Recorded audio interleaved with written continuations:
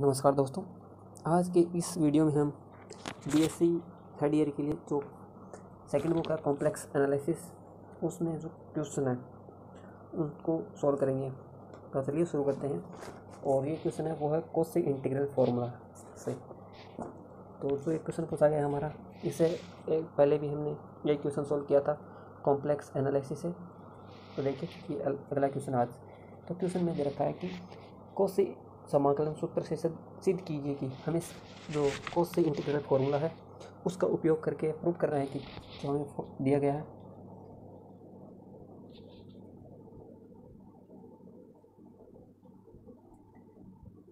Nine z square minus iota z plus four upon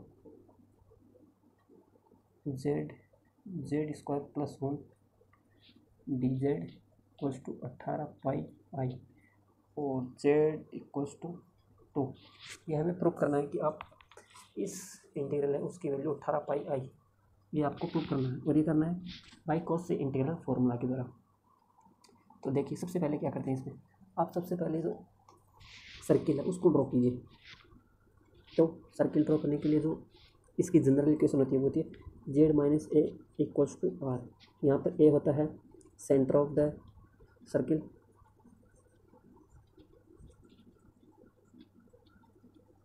और r है radius of the circle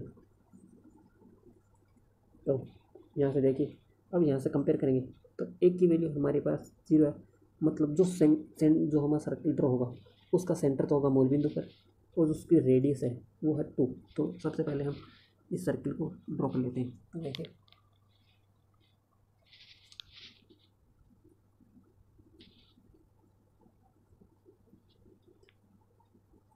ये हमारी real axis ये हमारी इमेजिनरी एक्सिस वाई एक्सिस तो ऐसा सर्किल ड्रॉ करना है जिसका सेंटर मूल बिंदु पर हो रेडियस टू हो। तो one two one two one two one two तो कुछ ऐसा एक सर्किल ड्रॉ होगा, जिसकी वन रेडियस टू है और सेंटर मूल बिंदु पर है। अब देखिए, अब इसके लिए आप सबसे पहले पोल निकालिए, क्योंकि पोल से पता चलेगा कि उस जो इंटीग्रेशन की वैल्यू कुछ है कि या ज़ीरो है। क्योंकि यदि जो पोल हमारे हैं, वो इस सर्किल के इनसाइड लाई कर रहे हैं, तब तो इंटीग्रल की वैल्यू हमें आएगी कुछ। और यदि जो पोल है, वो आउटसाइड लाई कर तो वहाँ पर इंटीग्रेशन की जो वैल्यू होगी, वो ज़ीरो होगी। तो अब सबसे पहले हम पोल निकालते हैं। तो और पोल्स इसको आप ज़ीरो के इक्वल पुट कीजिए पोल के लिए तो जेड जो नीचे वाला पार्ट होता है उसको आपको ज़ीरो के इक्वल पुट करना आपको पोल निकालने के लिए। Z z square plus one equals to zero तो एक तो आया जेड इक्वल्स टू ज़ीरो एक है z square plus one equals to zero तो z square equals to minus one तो जेड की वैल्यू आई हमारे पास प्लस माइनस आयोटा तो हमारे पास पोल कितने हैं? तीन पोल हैं। Z equals to zero plus iota और माइनस आयोटा ये हमारे पोल आ गए। अब देखिए। जेड इक्वल्स टू ज़ीरो इसका मतलब एक तो पोल यहाँ पर है, एक प्लस आयोटा कुछ यहाँ पर होगा प्लस आइटा एक माइनस आइटा तो जो पोल है, वो सारे इनसाइड लाइक करें। तो क्या है? Pole poles lie inside inside the circle ये हमारे पोल आ गए थे, और सारे पोल इनसाइड लाई करें। अब हमें रेसिड्यू निकालना है, जितने पोल आए, उतने हमें रेसिड्यू निकालने हैं। तो हमारे पोल आए तीन तो हमें तीन रेसिड्यू निकालने हैं। अब देखिए। रेसिड्यू के लिए। जब हमारे पोल, जो पोल है, वो सिंपल पोल है तो residue z equals to zero के लिए। इसको आर वन नाम देते हैं। तो limit of z tends to और ज़ीरो जेड माइनस ए एक की जगह ज़ीरो और एफ़ जेड एफ़ जेड की वैल्यू हमारे पास nine z square minus iota z plus four upon z z square plus one तो यहाँ से ये कैंसिल आउट हो जाएगा। और जब हम लिमिट पुट करेंगे जेड इक्वल्स टू ज़ीरो की जगह। तो ये ये टर्म ज़ीरो हो जाएगी। और उसके बाद ये टर्म ज़ीरो ये यहाँ पर ये बचेगा ये टर्म ज़ीरो तो ये आर वन की value residue z equals to zero के लिए रेशियो रहेगा। फोर ये इक्वेशन नंबर हमारी फ़र्स्ट हो गई। अब देखिए, हम ऊपर वाला पार्ट है, उसको इरेज करते हैं।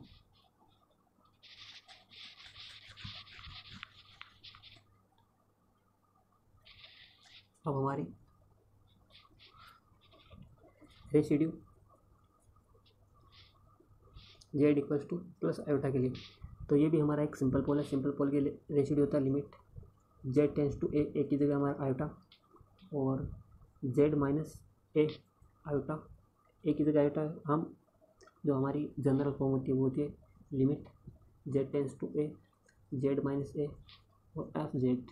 तो यहाँ पर एक की जगह आयोटा तो यहाँ से कंपेयर करेंगे। तो देखिए क्या आएगा। जेड माइनस आयोटा और एफ़ जेड एफ़ जेड की वैल्यू हमारे पास nine z square minus iota z plus four upon z z square plus one अब देखिए जेड स्क्वायर प्लस वन को हम किस तरह ब्रेक कर सकते हैं। आप जब z square plus one equals to z plus iota और जेड माइनस आयोटा लिखेंगे। देखिए कितना आएगा। Z square minus z iota plus z iota minus iota square iota square की वैल्यू होती है माइनस वन तो ये प्लस वन तो ये आएगा z plus one z minus one equal to z square plus one तो इसकी जगह हम ये भी लिख सकते हैं z minus iota z plus iota तो जेड माइनस आयोटा से जेड माइनस आयोटा कैंसिल और जब हम लिमिट पुट करेंगे जेड की जगह आयोटा तो nine iota square minus iota iota plus four upon iota iota plus iota अब इसको सोल्व करेंगे। तो आयोटा स्क्वायर की वैल्यू होते हैं हमारे पास माइनस वन तो माइनस नाइन और आय ये minus iota square minus one तो plus one plus four upon ये टू आयोटा और माइनस ये आएगा टू आयोटा और इससे मल्टीप्लाई करेंगे आयोटा तो माइनस तो इसको सोल्व करेंगे तो आएगा हमारे पास five minus four by minus two तो ये आएगा टू। आर टू की वैल्यू हमारे पास आई टू। ये रेसिड्यू है आर टू अब देखिए, हम थर्ड रेसिड्यू निकालेंगे। हमें यहाँ हम निकाल आर वैल्यू जो आर वन रेसिड्यू है, वो है फोर और आर टू है हमारे पास टू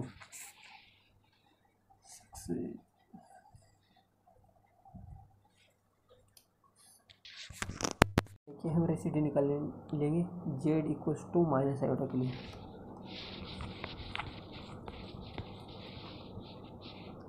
तो residue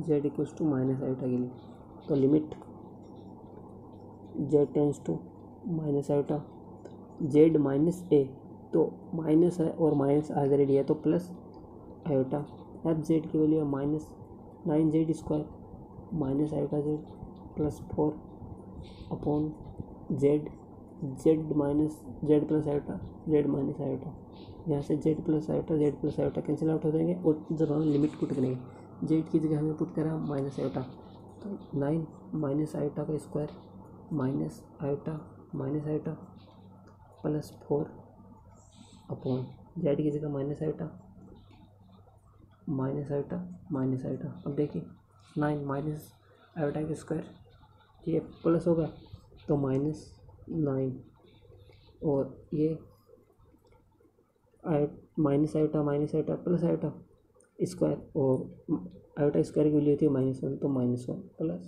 four upon minus two iota minus minus से पॉजिटिव और वापस जब आयोटा स्क्वायर होगा तो माइनस वन तो यह आएगा हमारे पास माइनस टेन और minus ten six minus six by minus one तो ये हमारे पास।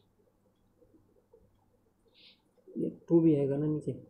Minus iota minus iota minus two iota और फिर देखिए, minus two iota two minus iota तो ये positive two iota square minus two तो यहाँ से माइनस टू भी है तो माइनस टू तो आएगा हमारे पास थ्री हमारे पास तीन रेशियोड आएँगे तीन पोल थे तो तीन रेशियोड निकालने होंगे r one r two r three r three की वैल्यू हमारे पास थ्री आप देखिए आगे किस तरह हम इसको सोल्व करेंगे।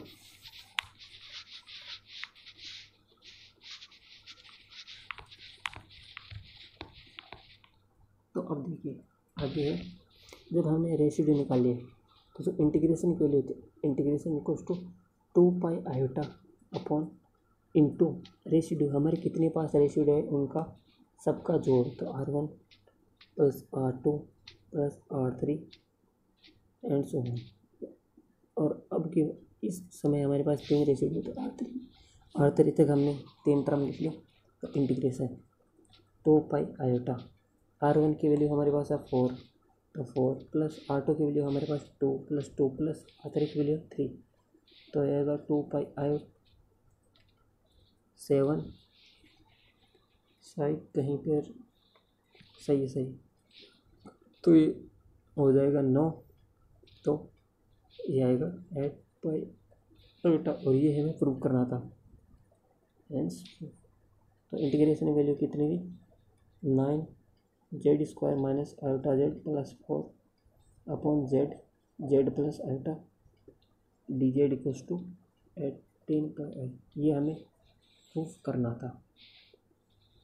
तो आपको समझ में आया होगा किस तरह हमने इस क्वेश्चन को सोल्व किया है। और ये जो क्वेश्चन है ये राजस्थान यूनिवर्सिटी में दो हज़ार पंद्रह में पूछा जा सक, चुका है। तो काफ़ी मोस्ट इम्पोर्टेंट क्वेश्चन है और ये जो कोस इंटीग्रेट फॉर्मूला है, उस पर बेस्ड क्वेश्चन है। तो आप इसको देख सकते हैं। एग्ज़ाम में आ भी सकता है और ये आया हुआ भी है। तो वीडियो को यहाँ तक देखने के लिए आपका धन्यवाद।